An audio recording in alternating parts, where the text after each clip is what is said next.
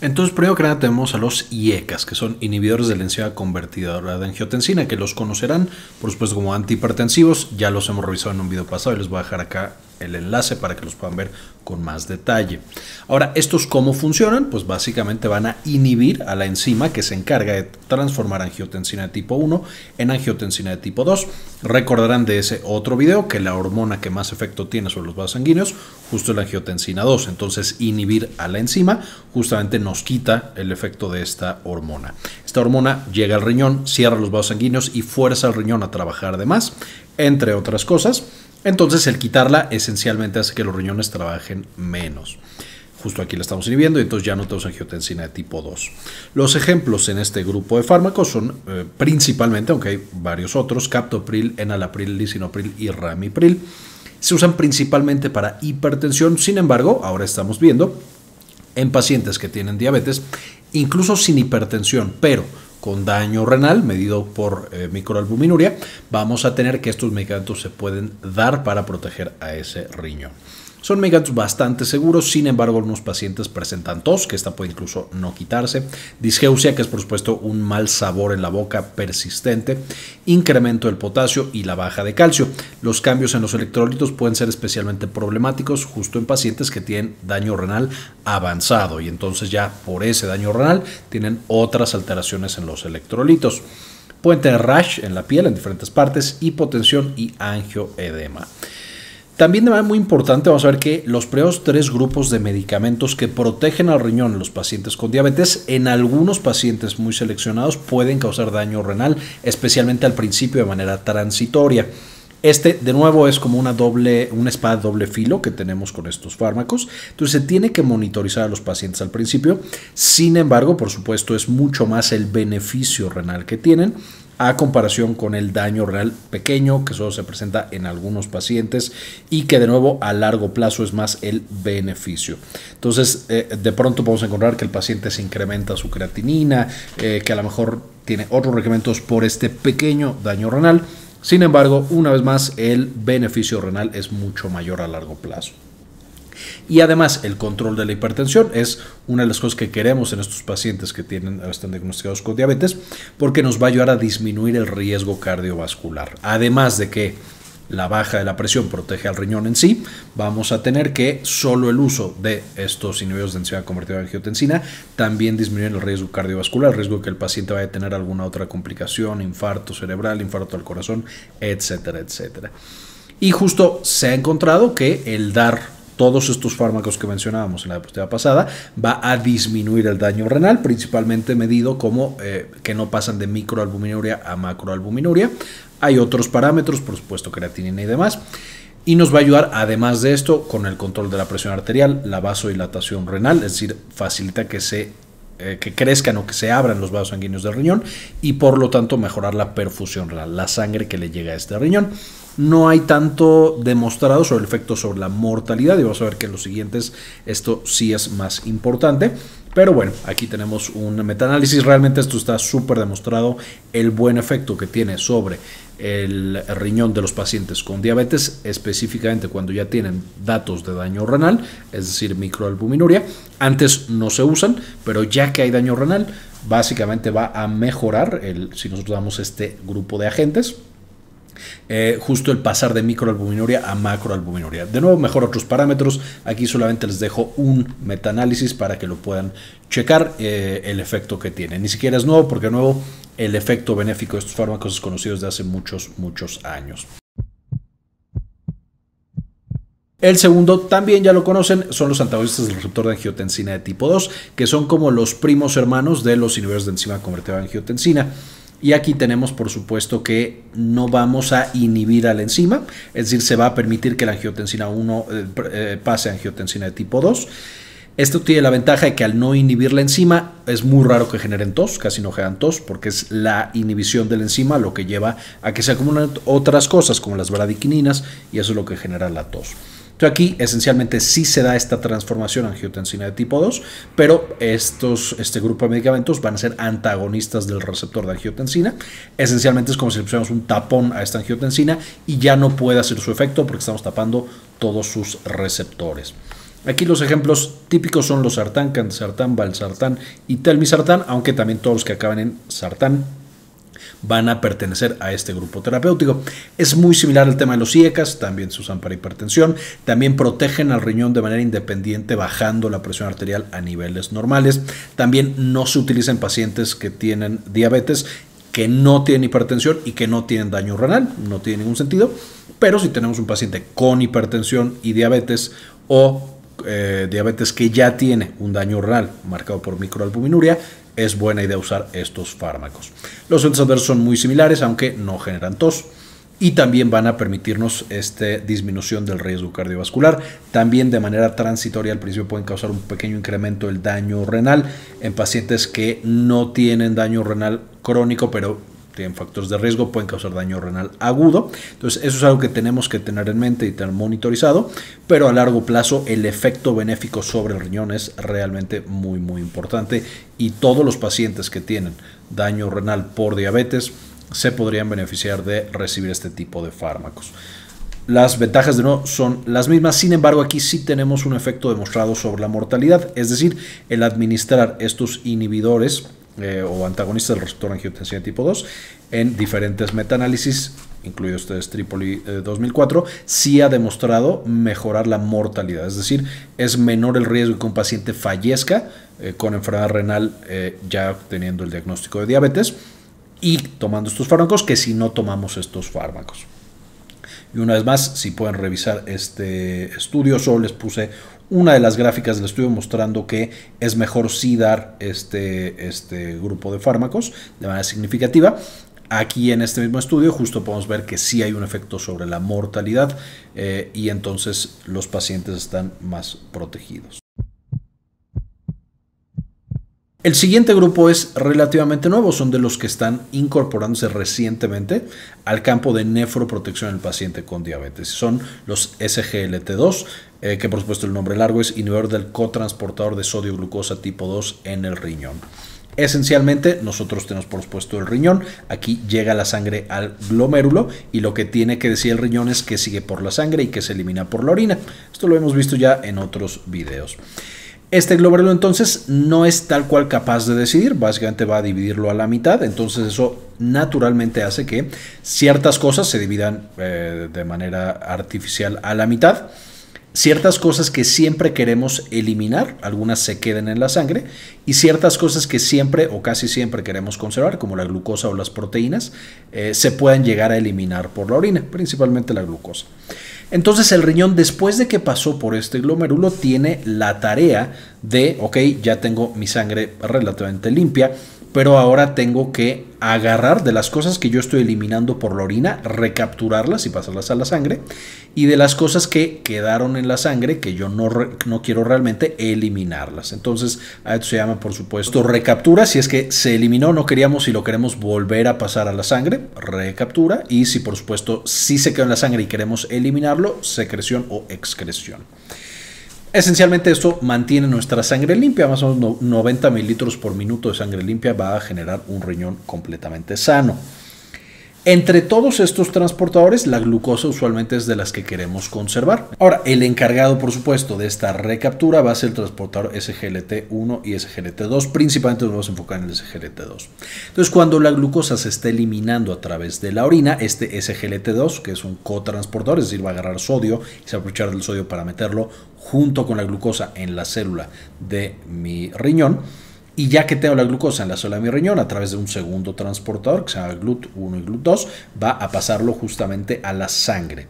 Entonces este CGLT, SGLT2 va a ser esencial para esta recaptura de glucosa. Evidentemente esto lo podemos ver en los pacientes de manera patológica cuando tienen una diabetes mal controlada. Cuando el nivel de glucosa es demasiado alto, básicamente están venciendo a este transportador SGLT2 y se puede detectar glucosa en orina. En un paciente sano no debería existir nada de glucosa en la orina. Ahora, ¿qué fue lo que pasó con esto? Evidentemente, los médicos y los pacientes lo que quieren es que no se eleve tanto la glucosa en sangre, que esté más baja, porque la glucosa en sangre es lo que genera la toxicidad en la diabetes principalmente, y es lo que genera el daño renal, los infartos, la inmunosupresión, etc. Entonces bueno, si el riñón ya está tratando de eliminarme glucosa, le voy a ayudar. y se desarrollaron unos medicamentos justamente para bloquear a este SGLT2. Entonces, cuando nosotros lo bloqueamos, por supuesto, toda la glucosa que está en la orina no se puede reabsorber, se queda en la orina. Y por supuesto, entonces, incluso de la glucosa que tenemos en sangre, el riñón, cuando la divide en dos, va a estar perdiendo esta glucosa, baja los niveles de glucosa y por supuesto el paciente está, más, está mejor controlado y tiene niveles más bajos de glucosa. Estos, de nuevo, relativamente nuevo grupo de medicamentos, son tres principalmente canaglifosina, dapaglifosina y empaglifosina. Si ha pasado mucho tiempo desde que publiqué este video, seguramente ya hay más. Pero se han estudiado mucho estos fármacos y se ha estado viendo qué tan buenos son. Se ha encontrado que son bastante buenos para el control de la glucosa y de nuevo de manera sencilla están disminuyendo la cantidad de glucosa en la sangre de los pacientes y se mandan de nuevo para el control de la glucosa, para bajar la hemoglobina glucosilada. Ahora, como están manteniendo la glucosa en la orina y por supuesto, por lo tanto, en genitales, la glucosa usualmente puede atraer bacterias o hace más fácil que las bacterias se mm, reproduzcan. Entonces, uno de los principales eventos adversos únicos que tienen este grupo de medicamentos va a ser el incremento en el riesgo de infecciones de vías urinarias y e infecciones en genitales usualmente no son difíciles de tratar, son relativamente sencillas de tratar, especialmente en un paciente bien controlado de su diabetes. Sin embargo, podemos entender que en un paciente mal controlado, con inmunosupresión importante y demás, esto puede llegar a ser un problema. Eh, va a causar también poliuria, la glucosa tiene efecto osmolar, entonces cuando el paciente está orinando glucosa, también jala agua y el paciente puede ir mucho más al baño.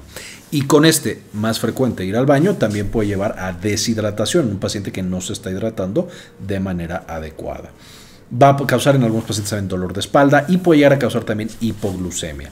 Si el paciente no está comiendo bien o está teniendo otro medicamento que también baja la glucosa, por supuesto se incrementa el efecto y puede llevar a hipoglucemia. Justamente como los IECAS y como los ARA2, que son los dos previos grupos que hemos visto, estos también pueden causar un daño renal transitorio. A fin de cuentas estamos haciendo que el riñón filtre más agua y estamos incrementando un poquito el trabajo que hace, aunque a largo plazo la descarga del SGLT2 y la descarga, por supuesto, del nivel de glucosa, se ha visto que generan protección del riñón y que, por supuesto, disminuyen la frecuencia de progresión a enfermedad renal eh, crónica. No solamente esto, también ya se utilizan en insuficiencia cardíaca, especialmente en pacientes con diabetes, pero incluso en pacientes con insuficiencia cardíaca sin diabetes se podrían beneficiar de recibir este tipo de fármacos. Parece que directamente logran proteger tanto al riñón como al corazón de daño crónico. Eh, y de nuevo aquí daño al corazón en insuficiencia cardíaca, no otros tipos de daño hasta este momento. Y de nuevo tenemos muchos estudios, no tantos como los IECAS y porque no tienen tantos años, pero hay estudios bastante grandes y bastante importantes.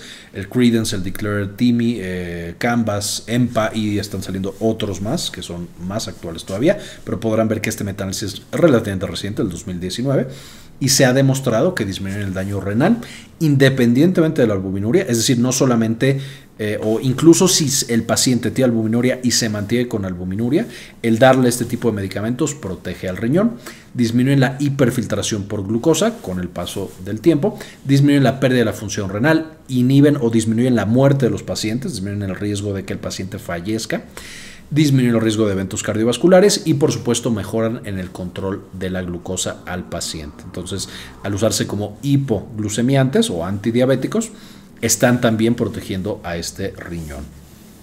Además, una vez más, del efecto directo de protección y benéfico que tienen sobre el riñón. último grupo, y estos son los un poquito menos demostrados, ya incluso están en guías, pero la evidencia apenas se está generando para ver el efecto nefroprotector, pero son los análogos GLP-1. GLP-1, por supuesto, es el péptido similar al glucagón de tipo 1 o el péptido eh, relacionado con el glucagón de tipo 1, también conocidos como incretinas. Entonces, estos análogos de incretinas, por supuesto, nosotros tenemos hormonas que trabajan con la insulina, principalmente la insulina, y contrarreguladores de la insulina. Estos bloquean la función de la insulina. Un paciente con diabetes mellitus tipo 2 esencialmente tiene demasiadas de estas hormonas de acá y bloquean la función de la insulina y por supuesto bloquean la función de esas células pancreáticas. Lo que hacen las incretinas, y específicamente el, el péptido relacionado al glucagón tipo 1, va a hacer que favorezcan la función de la insulina, es decir, se secreta más insulina y tiene más efecto la insulina en las células y al mismo tiempo bloquean la función del glucagón. Entonces con esto hacen que la escala o la balanza se incline para favorecer a esta insulina y por lo tanto mejora su función. Dentro de las incretinas, además de este buen control que vamos a tener en la glucosa y que por lo tanto se utilizan mucho para el manejo del paciente que tiene diabetes y mejorar su nivel de glucosa. Y entonces en este grupo de, fármacos encontramos tres ejemplos principalmente, la dulaglutida, liraglutida y semaglutida. Y estos no solamente los vamos a mandar para el control de la glucosa, para mejorar la función de la insulina, sino que también son de los únicos medicamentos altamente efectivos para la pérdida de peso. Y de hecho esa es la indicación que también tienen. Dentro de los eventos adversos frecuentes pueden causar malestar gastrointestinal, anorexia, que es decir, que el paciente no le da hambre, por supuesto estos dos relacionados con su eh, efecto benéfico para perder peso.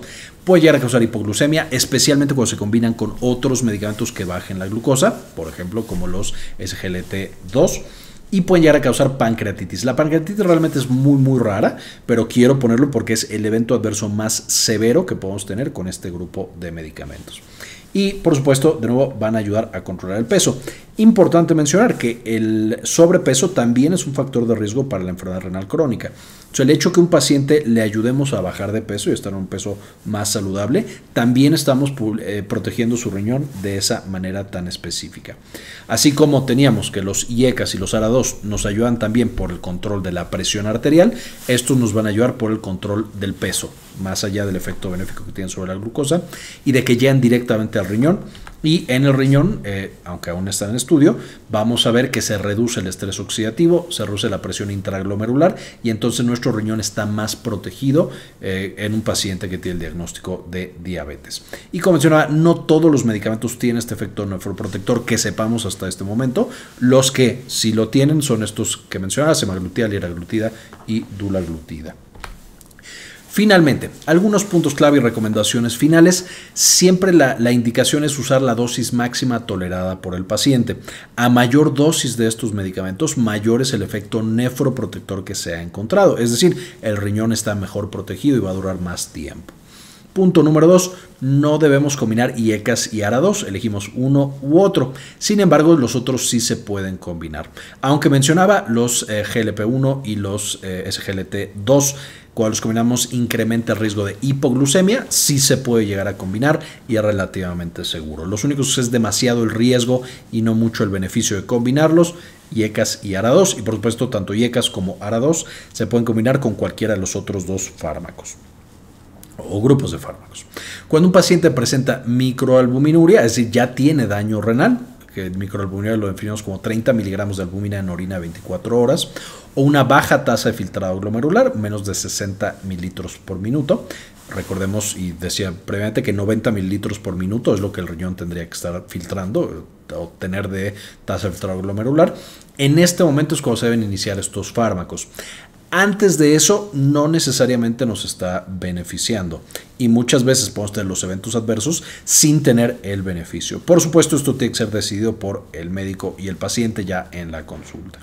Y finalmente, para volver a recalcar, no todos los GLP-1 son nefroprotectores, los que tienen evidencia y recomendación actual, liraglutida, dulaglutida y semaglutida. Básicamente, esta es la información que quería presentarles el día de hoy. Antes de irme, por supuesto, agradecer a algunas de las personas que han decidido apoyar el canal con una donación mensual y este video se lo dedico a Fernando FR, Silvina Dipólito, Jorge C. Beltrán, Mario Olvera, Alejandro Pardo, Luis Ernesto Peraza, Leonor Pávez Cabezas, Gustavo Francioli, Enrique Segarra, Rosaura Murillo, Hernán Gustavo, Gli53, Moni Leigh, Gilberto Argueta, Aldo Novelo, Malinche Carrascosa, Abraham Santana, Doctora Milis, Héctor Lagos, Saúl Reyes, Cindy Maña Bobadilla, Catherine Guerra y Claudia Gabriela García.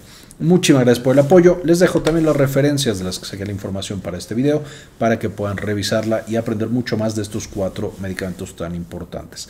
Evidentemente, ya que tengamos más medicamentos que protejan al riñón, iremos haciendo actualizaciones, así como si tenemos más información acerca de estos fármacos tan particulares. Muy bien, esto fue todo por el video. Espero les gustara, le entendieran. Ya sepamos mejor cómo proteger los riñones de nuestros pacientes que tienen diabetes. Con esto terminamos y como siempre, ayúdenos a cambiar el mundo compartan la información. Este video es en parte posible gracias a nuestra tienda en línea Synapsis Store en synapsistore.com, donde ahora además de encontrar los productos que ya conocían, como nuestros libros originales, por ejemplo Farmagrafía del Dolor y las presentaciones con las que hacemos los videos para el canal, también van a encontrar algunos servicios como consultoría para tesis, estadística, editorial y de algún otro tipo. Finalmente, dentro de las presentaciones, por supuesto, van a encontrar las de los principales videos que ya conocen. Eh, nuestro libro de farmagrafía del dolor y algunas otras cosas que les podrían interesar.